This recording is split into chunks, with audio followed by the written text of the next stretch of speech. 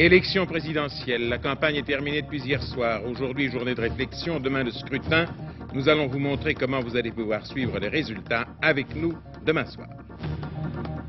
Explosion atomique souterraine en Inde. Ce pays devient le sixième membre du Club des Nations atomiques, après les États-Unis, l'URSS, la France, la Grande-Bretagne et la Chine. M. Kissinger pense être arrivé à un accord enfin sur le désengagement entre les forces syriennes et israéliennes.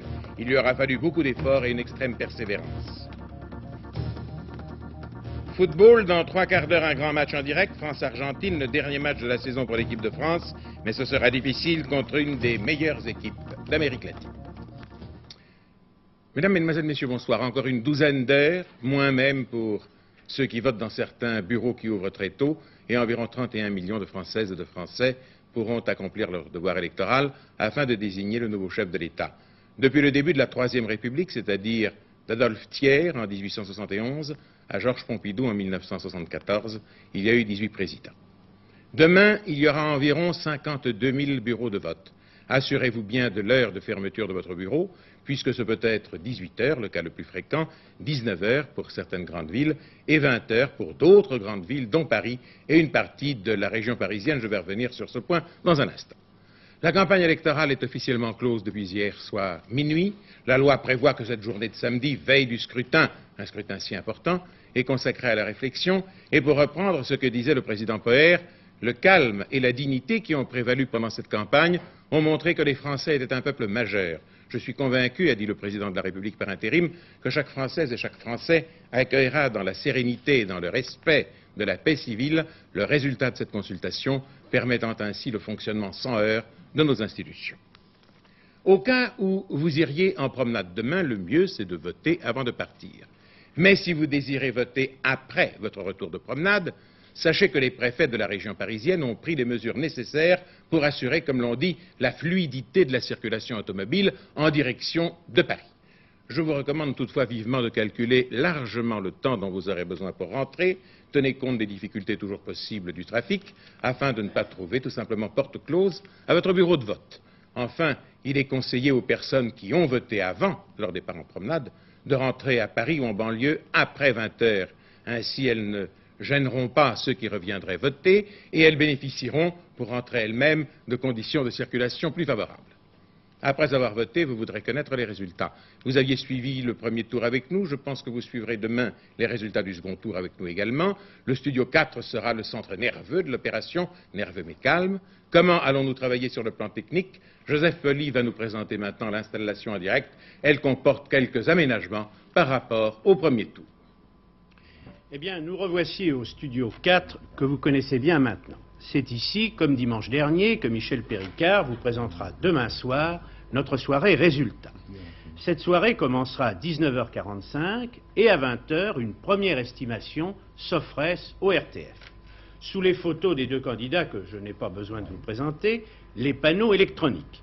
Nous avons modifié la présentation des résultats puisqu'il n'y a plus que deux candidats. D'un côté, les chiffres de l'estimation, de l'autre, ceux des résultats réels.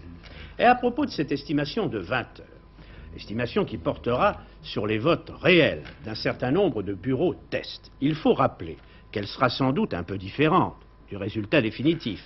Qui dit en effet estimation dit approximation. Par conséquent, si le scrutin est très serré, les spécialistes ne seront pas en mesure de déceler dès 20 heures le résultat définitif. Nous vous le dirons très simplement.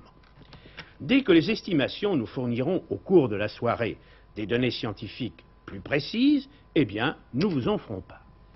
Continuons notre visite et notre revue. Une innovation par rapport au premier tour, cette carte de France, sur laquelle viendront s'inscrire en pourcentage les résultats définitifs des départements. Et ces résultats partiels, si le scrutin est très serré, n'en auront que plus d'intérêt. Ensuite, le coin des débats. Les spécialistes en sciences politiques, avec Maurice Bruzek, puis les hommes politiques, les chefs de parti, qui attendront et qui commenteront avec nous les résultats. Le coin des invités, nos amis de France Inter, et les télévisions étrangères. La centralisation des dépêches sous la responsabilité de Dominique Laurie se fera cette fois-ci sur une plus grande échelle puisque nous comptons donner beaucoup plus de résultats. comme pour le premier tour, tout ce travail journalistique se fera sous vos yeux. Enfin, notre panoplie d'écrans de contrôle. Nos moyens de direct seront partout où il se passera quelque chose, et c'est sur ces écrans que, nous recevrons les images que nous diffuserons. Nous serons bien entendu au ministère de l'Intérieur, au PC des deux candidats, à Château-Chinon, à Chamalières et au but de Chaumont pour les variétés. Vous le voyez, pour reprendre maintenant une expression qui vous est familière, demain soir, l'élection présidentielle, pour l'élection présidentielle, pour les résultats, votre chaîne sera la une. M. Kissinger est, dit-on, optimiste, très optimiste. Il pourrait annoncer dès ce soir les grandes lignes d'un accord de désengagement entre troupes israéliennes et troupes syriennes. Cependant, les détails et l'application auraient encore besoin d'être mis au point. Le négociateur voulait rentrer à Washington, mais il a été invité tant par le président syrien, M. Hafez el-Assad, que par Mme Golda Meir, à rester quelques jours encore au Proche-Orient. Après avoir passé la journée à Damas aujourd'hui, M. Kissinger devait regagner Jérusalem dans la soirée.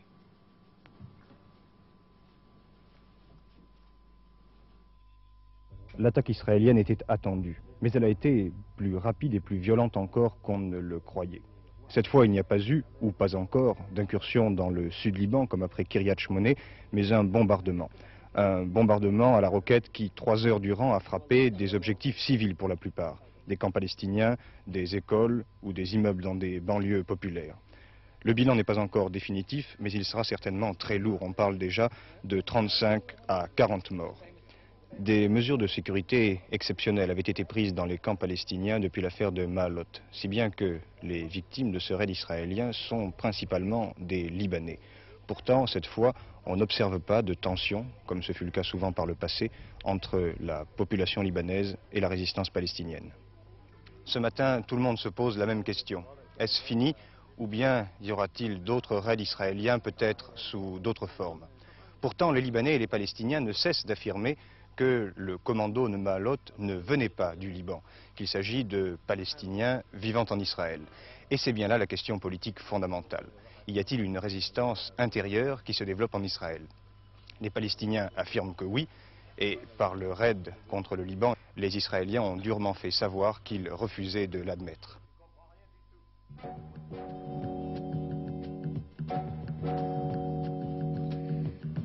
L'Inde est entrée dans le club atomique mondial. Elle devient ainsi la sixième puissance nucléaire et la première du tiers-monde.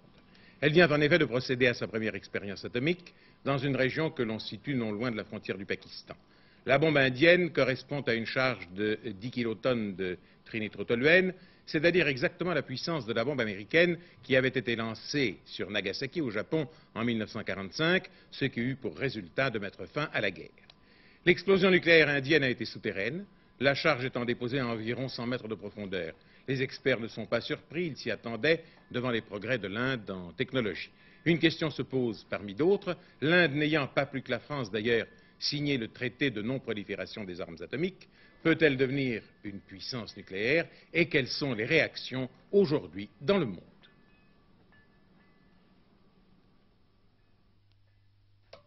La bombe atomique indienne est la première à ne pas avoir un parrain mais une marraine, Madame Gandhi elle-même, qui au sein du cabinet indien est entre autres chargée de la recherche atomique. Les déclarations de Madame Gandhi sont sans surprise puisqu'elles évoquent les résultats de la technologie de son pays et précisent que l'Inde n'entend pas tirer de cette première expérience un avantage de prestige. L'Inde n'a d'ailleurs pas signé le traité de non-prolifération des armes atomiques et cette explosion nucléaire n'est donc pas en contradiction avec sa position politique, qui a toujours été de ne pas accepter le partage du monde en deux seules puissances atomiques. On ne sait pas encore si la bombe indienne est une bombe propre ou une bombe sale. Mais ce que l'on attend, c'est de savoir si elle sera une bombe bruyante, comme la bombe française par exemple, et si elle éveillera autant d'échos. Les premières réactions sont les réactions de regret par exemple à la conférence du désarmement, où l'on constate malgré tout que l'expérience indienne était inscrite dans la logique des faits depuis le conflit sino-indien de 1962. Quant aux Japonais, ils qualifient également de regrettable l'initiative indienne, sans plus pour autant. La question qui se pose est de savoir quel poids politique l'Inde va acquérir dans cette région du monde maintenant qu'elle est la seule en Asie, mais avec la Chine, à posséder l'arme nucléaire. Son économie de pays en voie de développement peut-elle le supporter? Et l'image qu'elle s'est donnée d'un pays pacifique en souffrira-t-elle?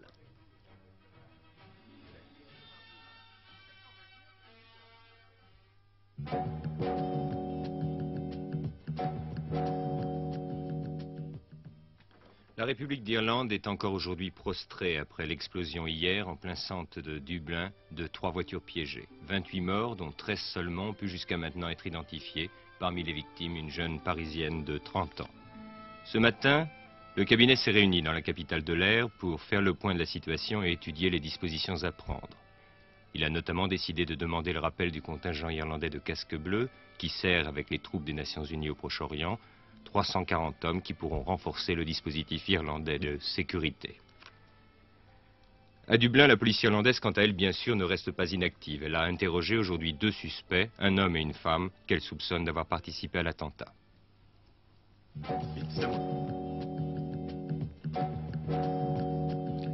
La nuit dernière, effectivement, à Los Angeles, aux États-Unis, une fusillade. La police a investi, après un assaut de plus d'une heure, une maison individuelle dans l'un des beaux quartiers de la ville.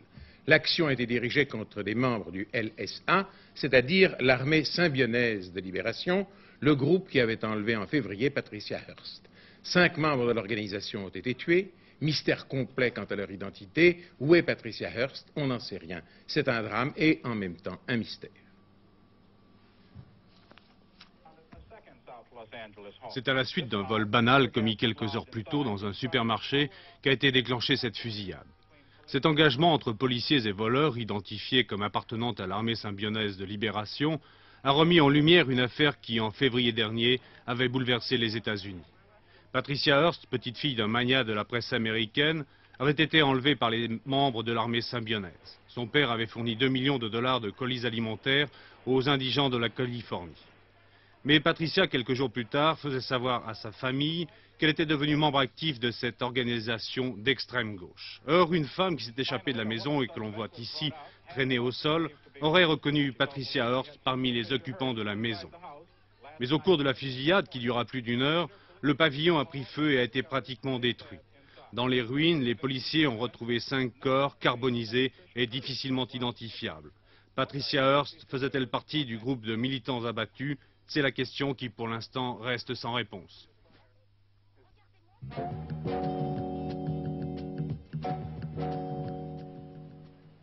15 heures cet après-midi en rade de Brest. La musique du bord salue à sa façon le retour du bateau-école Jeanne d'Arc après son dixième tour du monde. Un tour du monde qui aura duré 202 jours, dont la moitié passée en escale sur les cinq continents. Brest était donc en fête aujourd'hui pour accueillir tous ceux qui ont vécu pendant près de sept mois sur ce porte-hélicoptère de 12 000 tonnes, troisième navire-école de la marine française, a porté le nom de Jeanne d'Arc. Car si la Jeanne d'Arc est une tradition, le bateau, lui, est un petit village de 850 habitants où tous les corps de métier sont représentés et qui vit au rythme des cars. Pour beaucoup, Jeanne d'Arc, c'est la façon, selon les escales, de découvrir les Antilles, Tahiti, la Nouvelle-Calédonie, la Réunion ou l'Amérique centrale. Pour d'autres, c'est du travail, les 140 élèves de l'école navale pour lesquels chaque année, la Jeanne d'Arc et son escorteur font le tour du monde. 15h30, la coupée est amenée, la Jeanne d'Arc, petit village et grande école, est rendue à la vie civile et aux familles, la campagne est bien finie.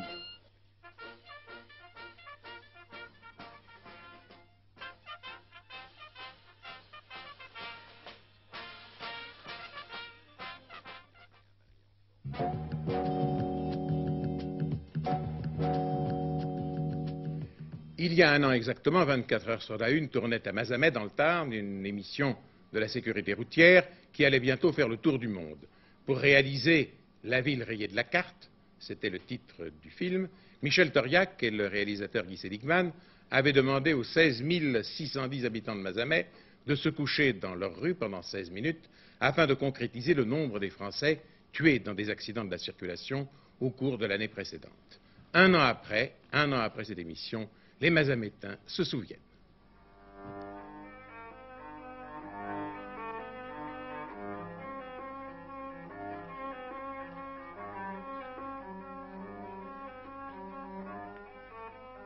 Vous voyez, c'est ici que j'étais il y a un an, au milieu de tous mes concitoyens, plus de 10 000 Mazamétains devant notre hôtel de ville.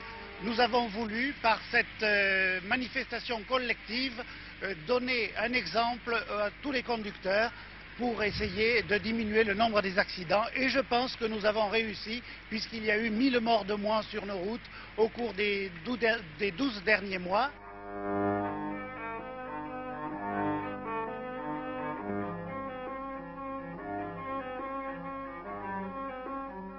En 73, il y a eu 17 accidents de moins qui ont fait 8 morts, 44 blessés de moins par rapport à l'année précédente.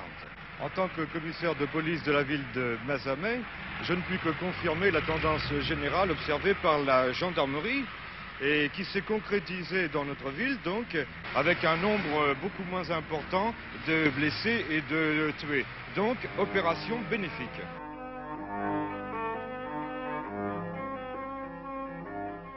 L'émission a attiré à Mazamet environ 30% euh, euh, en supplément de touristes qui sont venus ici voir la ville rayée de la carte et surtout voir euh, cette ville où les gens s'étaient couchés.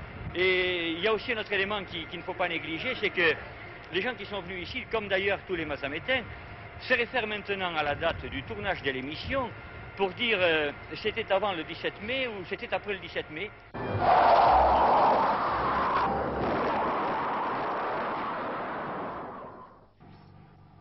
L'accident, vous vous sentiez invulnérable Oui. Oui, oui, parfaitement. Parfaitement. J'étais sûr de moi, j'étais sûr de, moi et de la voiture. J'étais sûr.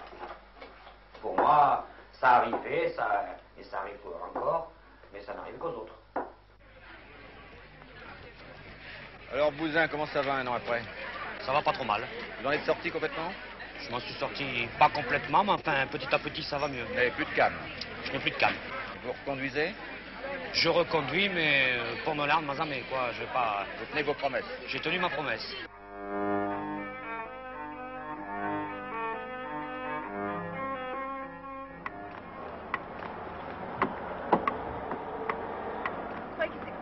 On ne peut pas dire, mais on a appelé le médecin.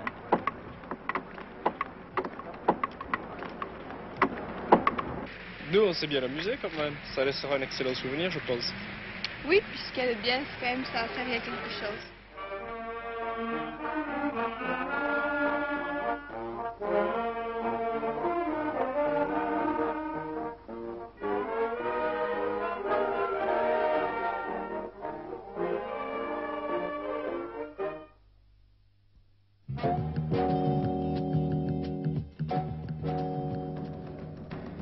Résistance et sécurité améliorée, c'est la conclusion que l'on peut tirer du 9e Salon international du matériel de travaux publics et de bâtiments. L'industrie des travaux publics occupe 349 000 personnes. Elle vient au troisième rang des industries françaises. Perfectionnement aussi dans l'insonorisation des matériels, la réglementation française limite cette année le niveau sonore des engins de chantier. Ces quelques 3000 engins sont présentés jusqu'à dimanche à l'aéroport du Bourget.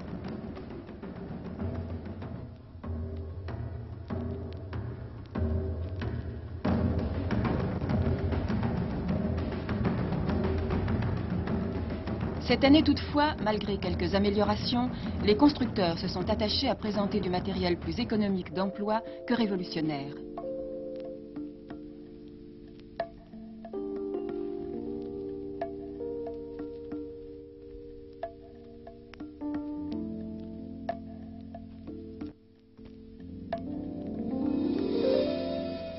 Les grues peuvent résister à un vent de 150 km/h et par sécurité, la flèche est débloquée par grand vent pour offrir moins de résistance.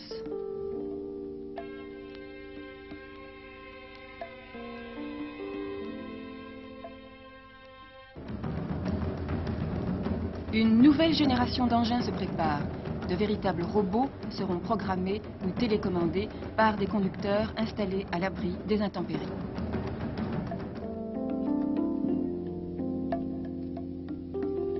Si le marché national est ouvert à la concurrence, la France importe 40% de ses engins, l'exportation, elle, se porte bien. Elle représente 53% du marché.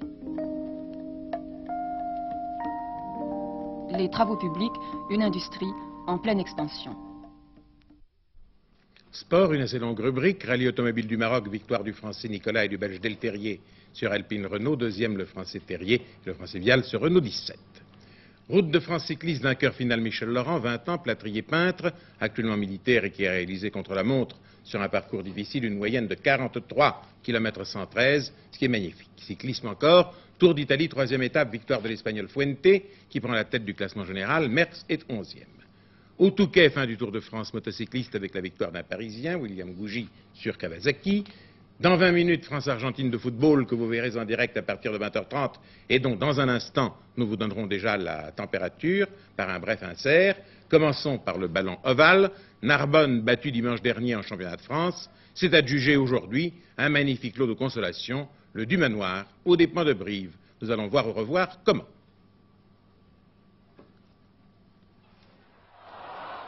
Nous sommes en seconde période et Narbonne mène fort logiquement 10-3. Mais Brive va alors entamer une passionnante course-poursuite. 56e minute, Auboirou récupère un drop manqué de Mazot, transmet la balle à l'ailier Brivis Puy-de-Bois, meilleur buteur du championnat. Coup de pied à suivre, rebond favorable à Puy-de-Bois qui passe à Yachvili.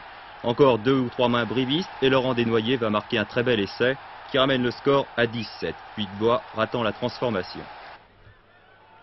10 à 7, mais pas pour longtemps. Quelques minutes plus tard, pour un plaquage à retardement, Benaï Claude réussit trois nouveaux points. 13-7.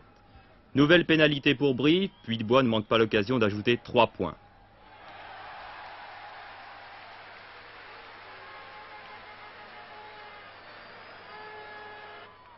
« 13-10, trois petits points d'avance. Narbonne va-t-il, comme dimanche dernier, se faire rejoindre sur le fil? Non. Clan Spanghero surgit et d'une seule main marque l'essai qui met définitivement Narbonne à l'abri de toute surprise. Un essai transformé par Benaï Claude.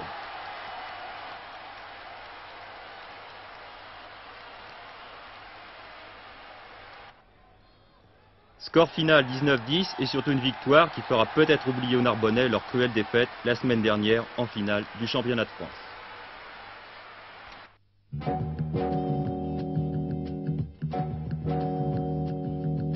En tête ce matin, un jeune maraîcher de Ringis, William Gougy, 21 ans. C'est sa Kawasaki 750. Un motard de longue date, mais son passé sportif est beaucoup plus récent. C'est son premier Tour de France. Il a pris la tête dès la deuxième étape. Depuis, l'équipe Kawasaki tient tous les classements. Gougy, pourtant, réagit en vieux tacticien. Il avait 42 secondes d'avance ce matin sur Rigal et sa BMW. Il s'est laissé reprendre 3 secondes au cours de la course de côte. Et pourtant, cet après-midi à quoi il a remporté sa série en 12 minutes 2 secondes 3 dixièmes, laissant Régal à 28 secondes et la Japoto de Berge à 23 secondes. C'est avec près d'une minute d'avance au classement général Scratch sur Rigal et plus d'une minute et demie sur Berge que William Gougy devait arriver ce soir au Touquet comme en triomphateur.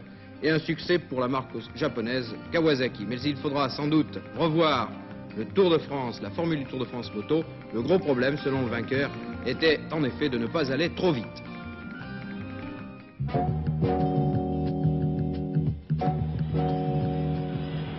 Ce coup d'envoi sera donné maintenant dans 20 minutes par l'arbitre hollandais, M. Kaiser. Disons que pour les Argentins, il s'agit surtout de préparer la Coupe du Monde. Les Argentins seront notamment dans le groupe de Stuttgart avec euh, les difficiles Italie et Pologne. Et pour les Français, il s'agira bien sûr de terminer une saison internationale qui a été fort encourageante. Et à nos côtés, très rapidement, Michel Hidalgo, l'adjoint de Stéphane Kovacs. Beaucoup de problèmes pour former cette équipe de France ce soir. Oui, par suite de blessures, euh, nous avons euh, été obligés de modifier l'équipe qui avait joué à Prague, puisque seul il y a six rescapés. Mais aussi, nous avons voulu essayer d'autres joueurs et des joueurs méritants.